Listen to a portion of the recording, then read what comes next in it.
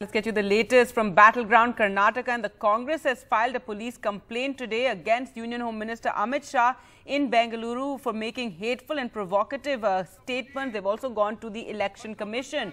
Now, Congress leaders Randeep Singh Surjewala and Parmeshwar and DK Shivakumar filed the complaint against BJP leader Amit Shah for allegedly making provocative statements promoting enmity and hatred and maligning the opposition.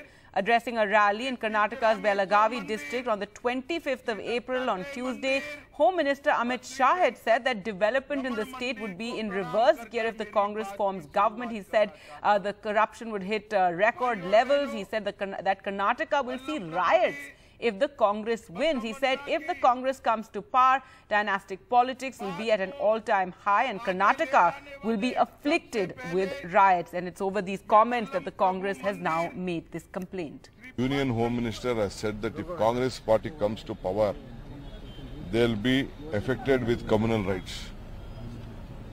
Congress party comes to power, he has said that if Congress party comes to power, it will be affected with communal rights. How can he tell that?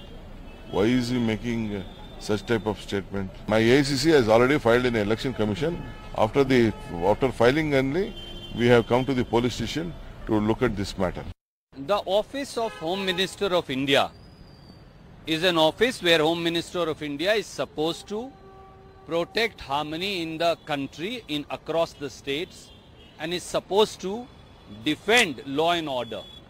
If Home Minister of India makes fake false statements, instigate uh, statement, makes instigative statements that creates disharmony and possible conflict between classes, religions and communities, then who will protect law and order?